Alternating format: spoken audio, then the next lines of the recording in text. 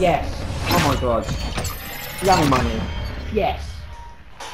They're really, really, really good at London.